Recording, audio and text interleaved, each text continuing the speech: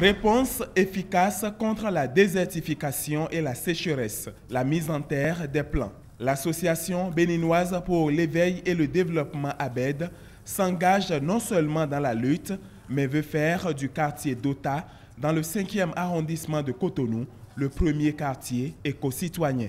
La base réelle du développement durable euh, pour atteindre les objectifs des ODD euh, pour euh, l'agenda 2030.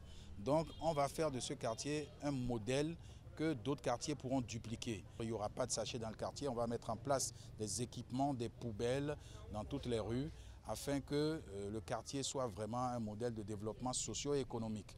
Une initiative privée qui se déroule sous le regard effectif des forestiers et des responsables du ministère du cadre de vie et du développement durable.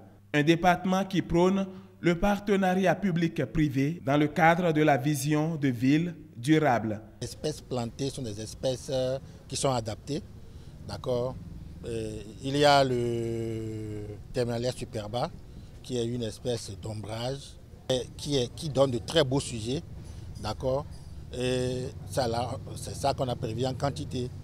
Bon, après, il y a le terminalia Katapa qui est aussi prévu et qui est aussi qui donne aussi de très beaux sujets, hein, qui est très indiqué pour les, pour les villes. Ce que nous pouvons demander, c'est que chacun prenne en charge les actions que le ministère appuie les initiatives privées telles que les ONG à mener sur le terrain. Ça veut dire quoi clairement?